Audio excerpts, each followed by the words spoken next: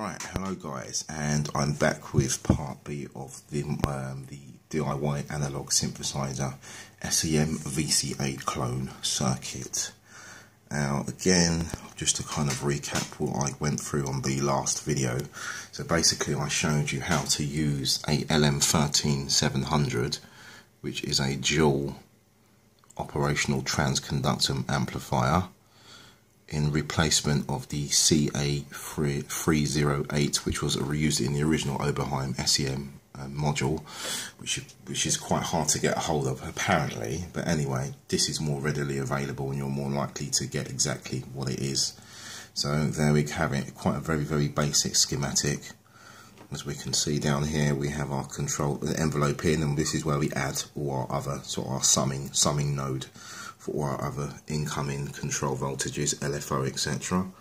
And we have the audio in, we have, uh, I think they call this AC coupling, so we don't get, we block DC with this electrolytic polarized capacitor, 100k in for the audio, and then we have our trimmer here, which um, is our voltage, DC voltage offset. So say for instance, when you trigger the envelope generator, you can get a bump coming through a voltage. What we do we null that out by kind of centering that I think we'll probably get about half voltage there, so we kind of null that out to about seven and a half volts-ish, if that sort of works out as a voltage divider.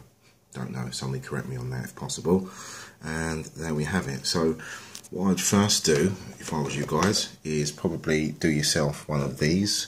So as you can see here, I have myself a little cheat sheet for the CA 3080 and what I did was because I kept on hunting high and low for schematics on the internet for this one for LM13700 version of the Oberheim um, voltage controlled amplifier the Oberheim SEM voltage controlled amplifier. I couldn't find one so I basically sort of thought to myself right try and match it pin for pin. Now I have a cheat sheet as well which is covers the LM1300 and as you can see this is a dual dual OTA. As we see there, kind of looks like a, a normal op amp. So, but if we look at this one on the LM13700, we have these two transistors kind of wired in a, I think they call it a Darlington pair or something like that. Not quite 100% clear on that one. And we can see how that's wired up. So basically all we're concerned with is one side of this LM13700, 13700. So we're going to use pins 1 not pin 2, pins 3, 4 and 5 is our output which goes to our op amp. Now if we go back if I quickly take you through our uh, bill of materials, you can see it's very, very minimal bits we need for this. So obviously we need the dual OTA, and we're going to need the we're going to need two 220 R resistors, 100k resistor, which I'll put a question mark on that. Reason why that being is because one of these, if this is the one which sets our gain in the negative feedback loop, we can actually increase this. I've taken mine up to 470 to see how high I could push the output before it sort of got a bit too noisy and too, um, the, we had too much distortion, which was unusable. Um, one PNP transistor, anything like a general purpose, say the 2N3906 or a BC 558 etc. Again, when you come to using transistors, please try and observe polarity. They are not all polarized the same way. General rule of thumb, most, if not every single modern one that will have a middle pin as the base, it's where the emitter and where the collector is, which is, can kind of mess you up and throw you off a bit. So the 3, 3906 is pretty much goes, we just think of it as, I don't know, find find the sort of um, an acronym rhyme for yourself for that one. Um, so as we can see, emitter, um, we need to observe PNP, we have the emitter pointing in towards the base. If it was NPN, the arrow would be pointing the other way. And we're going to need 1 mega ohm resistor and 22 to 47k resistor for the CV in. Now why I say that is basically when I started, when I first built this um, circuit, I pretty much followed the whole schematic as the Oberheim SEM was, values as to a T. Um, and I kind of thought to myself, hmm, what would happen if? So I changed the 47k resistor to a 22k resistor and it gave me a louder amplitude, believe it or not. So that's worth toying about with. I wouldn't go too low, but to see how far you can take it to get the, the, the highest amplitude you can, usable amplitude. Um, and also you're going to need a single or dual op amp. You can go for a single op amp like a LM741 or there's quite a few other electronics um, manufacturers who manufacture the 741 chip. The old one was the UA741, which was used in the original Oberheim. You can go for a dual. I went for a dual for the sake of um, putting this on a breadboard and being able to use the um, unused op amp for the same space as you to use a single. They're both 8 pin um, dual inline in the integrated circuits. Um, so yeah, you could use the other side of the op amp for something else later. So kind of plan out in your head how you want to sort of do it. And we're going to have a, you can either use a 1 to 47 uh, UF cap input from the VCF um, mixer which does the DC block, which is they call it DC um, AC coupling. So basically, you dot block the DC coming in with the capacitor, won't let any DC signal through. So you'll just get your audio signal coming through. Um, I'm not sure if I mentioned the 100k trimmer. Yeah, you're gonna need a 100k trimmer, which, as you can see, is let's uh, focus in, which is there which is there and also we're going to need yeah a some connection wire, and a bag of perseverance, most importantly. Very frustrating when circuits don't work and you're kind of on the bridge, um, verge of giving up. So, definitely a help for me.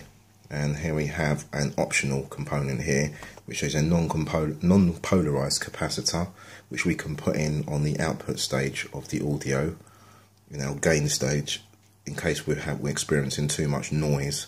We can put something very small value in there say we're talking in the picofarads I wouldn't go anything over sort of say we can go something like between 22 between 22 and say 100 non-polarized which will look like so. Ceramic don't care what it is you can put in pretty much any kind of type of but just observe on the scope if you have a scope just observe the output. And what you you may notice is you may trim out a little bit of the higher frequencies on your wave shapes but not always a bad thing gives it its own unique character. I mean any saw can sound like a saw a square or a triangle.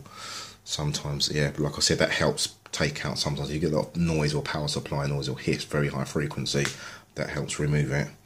And yeah as we can see so if we go over to the breadboard we can just see the basic components. There we have our LM 13700 which is a 16 pin dual inline uh, package and a dual op amp here which is a 8 pin dual inline package and a trimmer which does our CV our offset our DC offset. And that is pretty much it to be honest with you. There's not a lot to this circuit. We just need to observe the like I said make sure you get yourself a, a data sheet of uh, the ICs that you're using. You can't really go wrong at all. It really has, does help me out big time. Um, yeah and like I said just get yourself a selection of electrolytic capacitors.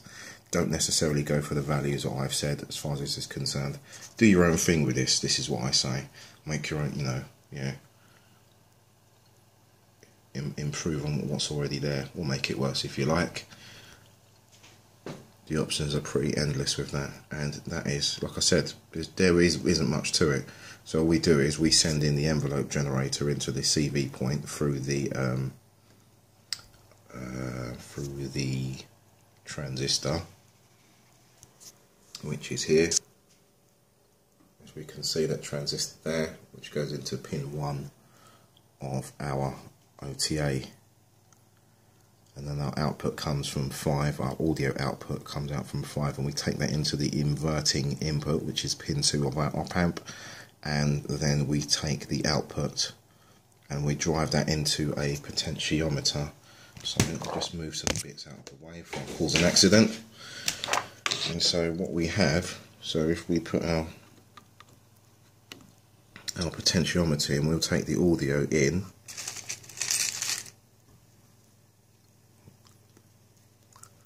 Let's try and do this one-handed. So we'll take the audio in to the middle of the potentiometer which comes out from the output which will be pin 1 and what I've done here is this this all the brown cables here. I kind of color code things. Where I have normally plus voltage I'll have orange and I'll have blue minus voltage. Kind of electrically makes me think of negative positive etc and we have brown or green I normally put as the ground.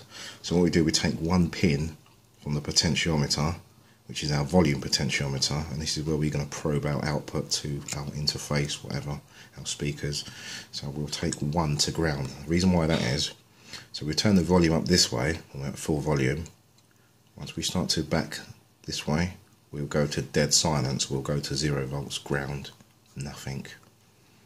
If you find you get any problems I had an experience where one almost actually caught fire. Don't know why that was probably did something else wrong maybe maybe an idea to put a very very small resistor in there to ground say something in the ohms range to say something like a hundred start with 100 ohms and see how far you can take the volume down.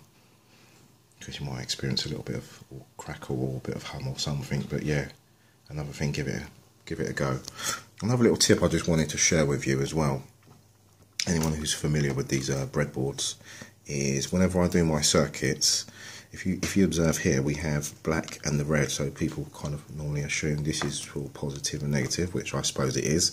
Or plus voltage minus voltage or even ground. One tip I would say if you're doing a project similar to mine is try and keep your power rails as isolated as possible.